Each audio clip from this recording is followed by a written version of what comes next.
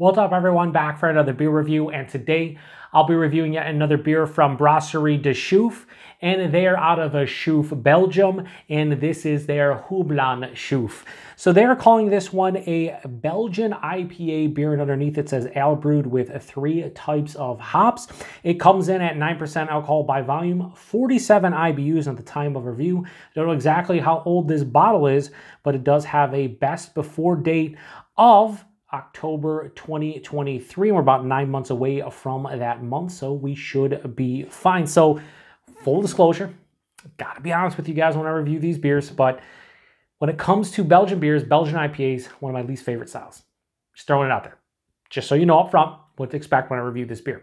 Um, there's a chance I might enjoy it. There's a chance I might not. But I want to be honest with you, um, last time I had this beer was many years ago, and I did not care for it. But again, not a huge Belgian IPA guy. And the last time I had this, wasn't a huge IPA guy in general, just started getting into it. So it's been very, very long time since I've had this beer. So this is to be fun for my palate to kind of figure out if I enjoy this one.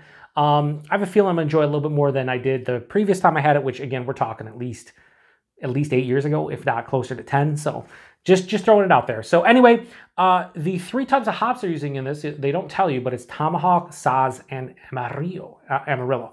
And uh, that's all I know about it. Uh, they do have a spiel on the back that I will read, if I remember, at the end. Uh, I don't think it really talks too much about tasting notes, but don't really need to read it right now. Anyway, let's give it a pour here. So Belgian IPAs, like, like I mentioned before, when it comes to lighter Belgian beers in general, they're not my favorite. I like darker Belgian beers. So then you threw in like, you know, the hop character uh, in conjunction with the Belgian, uh, you know, flavor profile. And it was just like not my jam back in the day. I don't really seek out and haven't, um, you know, when it comes to the Belgian IPA style. But anyway, can't see it that well in the glass. I'm using this glass because it's hashtag proper glassware because it came with the Discovery gift pack, uh, but it's tough to see. But down at the bottom here, you have this really nice like golden uh, yellow color yeah, looks beautiful. Looks like a lighter, you know, it's lighter, like a golden yellow down here as it goes up. It's more orange. Um, you know, murky. Can't really see through. It has about two and a half finger of the soap sudsy looking head. Some decent alcohol legs at 9%. Yeah, I mean, it looks kind of what you expect from like a lighter Belgian beer. Uh, even though it's 9%, but I'm just saying lighter colored Belgian beer. Anyway, let's get nose. So there's a huge head here. Yeah, I'm getting a little bit of hop character. There's like a little bit of an orange, probably from the Amarillo.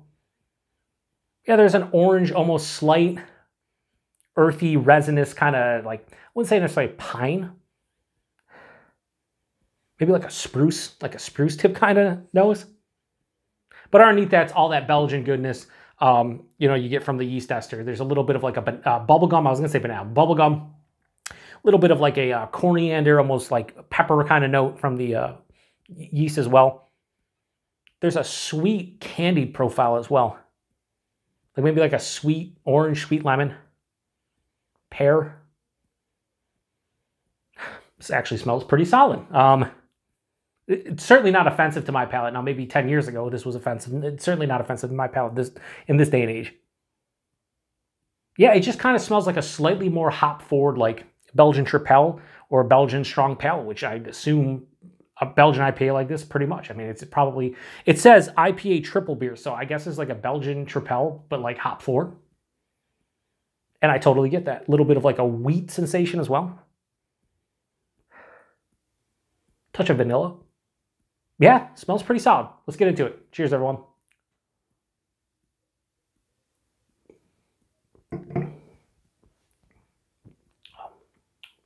Yeah. So I don't dislike this, but this is definitely not exactly my wheelhouse. we'll just say that.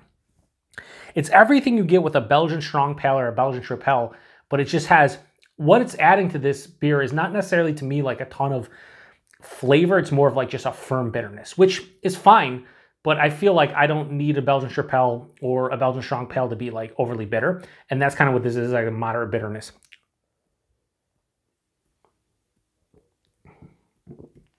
Body on this is like medium touch over medium, maybe a little bit thin for 9%, but I think it adds to the drinkability, so I'm okay with it.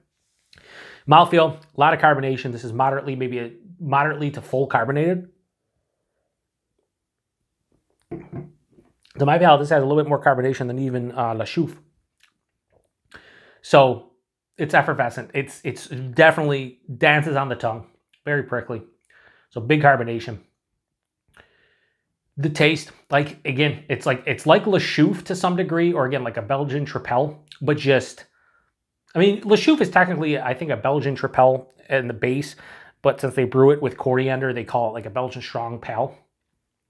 So it's like you took Le and you just hopped it with Tomahawk, Saaz, and Amarillo, and this is what you get.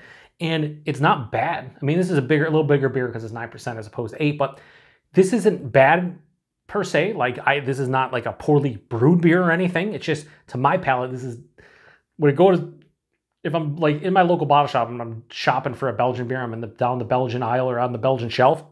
Belgian IPAs are not the first thing I'm gonna grab. But forefront, orange, lemon, definitely has that like hop character that's more to the citrus side of things. Um, there's an underlying like sweeter kind of wheat malt sensation dives underneath the palate. But that that that citrus at the front becomes a little bit candied with a sweeter kind of feel. But as it passes through, I'm hit with more of like a, a lighter, whiter fruit, like a pear or an apple, like a red apple core, maybe more of a pear, maybe kiwi even. Continues on through, slight bubblegum yeast ester, definitely not as big as in the nose, but it's noticeable.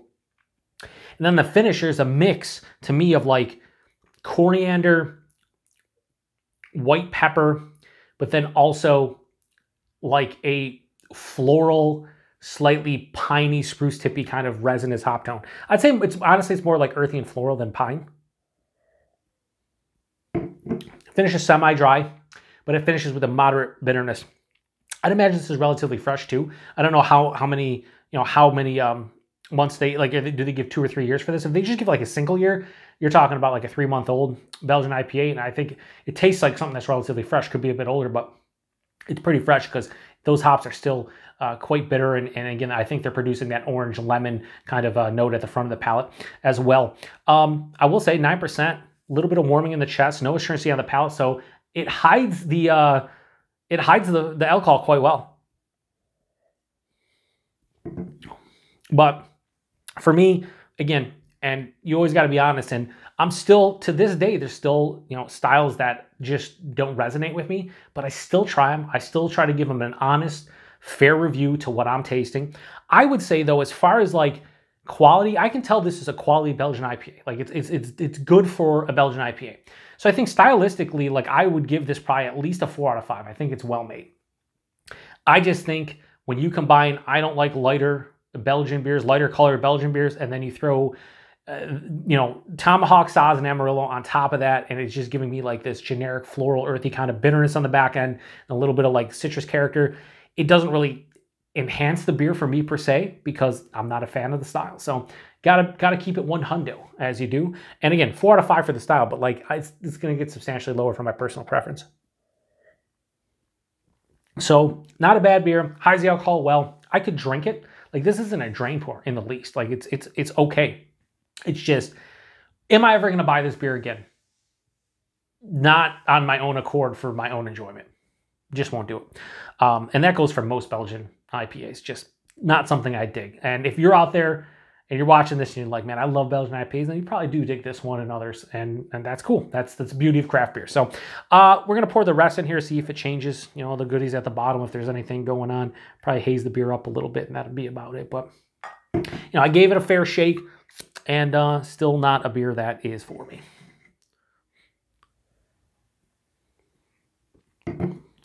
Ooh. Every time I throw that in, there's a little bit of that yeast sediment. I was getting more pronounced like yeast ester. Uh, the phenols from the yeast also kick in. I just got like more of like a coriander sharpness, which is all right with me. Um, so Houblon Chouffe from um, Brasserie d'Achouffe. I have to give this a fair and honest score. And again, I don't hate this. It's not bad, it's just not for me. So I'm to give this a uh, 3.25 out of 5. It's best I can do on this beer. Um, that's kind of where it lands for me. Typically, anything under a uh, 3.5 is something that I would prefer, would never buy again and prefer not to drink. Like if I was, you know, are any of my friends to have a party or I'm to be at a cookout and they're just to have this hanging out? Probably not. But let's say I was. What if someone handed me a bottle and say, hey, I'd probably drink it. Like I, would have no issues with it. I don't hate it. I don't dislike it. It's just it's not a style I'm ever gonna actively seek out. So anyway, price point availability. Uh, I got this in the Discovery uh, gift pack, which came with four beers. This was one of them, and this glass is $18. But I think if you can buy these in four packs, pretty sure you can. It's probably like 12 to $14 four pack, which is fine. Talking 9%, and uh, you know, four bottles of it for like three, 350 a, a bottle, like that's fine. That's a good price point. Availability, wherever you see uh, Brasserie d'Achouffe, uh, if you see Le Chouffe and McChouffe and the whole nine, you probably should see these. If you have a good uh, local beer store that has an import section, certainly you go to the Belgian section, you probably should see this. If not, others from uh, de Chouffe, because, you know, that's, they're Belgian and that's where they, you know, you learn something every uh, learn something new every day and what you came here to learn today was that this is a belgian beer and if you go to your local beer store and there's a belgian section this will be in the belgian section what is wrong with me? Anyway, if you've had this one before, post in the comment section. Let me know what you think about it. Do you like Belgian IPAs? Uh, if you do, post in the comment section. Let me know. If you don't, do the same. I'd love to hear feedback on you know what's your what's your least favorite style. What's some what's a style you don't seek out, or what are styles you'll buy without question. Um, like I said, Belgian IPAs. I don't care who produces one. I'm never probably going to go out of my way to even if like Hop Butcher or other half or somebody put out a Belgian IPA, I'm not going to be like, oh yeah, yeah, I'm gonna. I might try it, but I would never go on my way to go, you know, get a four pack of it or go go crazy over it. Just it's not a style that resonates with me, and that's fine. There are there are probably hundred plus styles and sub styles at this point, so you know, there's there's styles out there for everybody, but there's also styles out there that certain folks don't like. This is one of them. So appreciate everybody stopping by for another beer review here on the Beer PaTroll. To the next one. Cheers.